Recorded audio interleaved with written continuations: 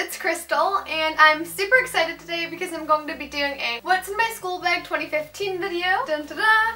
I don't know if any of you guys do this, but in my bag I put uh, my purse inside. I find that it makes it so much easier. So I'm just going to start with what's in my purse. First off, I carry my makeup bag, and this has powder, Burt's Bees lip products, as well as this like random chapstick, a brush to apply the powder, a lip gloss that has been leaking all over my bag. So that's pretty much what I carry in here.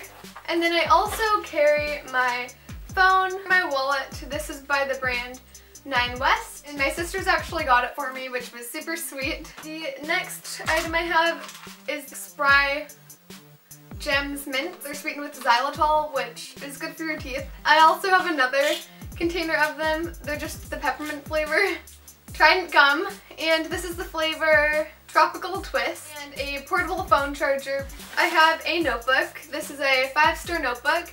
I also have a water bottle. This is actually a glasses case, but I put some pens and pencils in it. I couldn't find like a pencil pouch at the moment, so this works great for that. This is what my bag looks like. It's by the brand Marc New York, and it has a really cute design inside of it. I got it at TJ Maxx like a few years ago. I love it. I had to take off the long strap that it used to have on it because it would get caught in my hair like all the time. I hope you guys enjoyed this video. I hope it helped you. I'll talk to you guys later. Bye guys.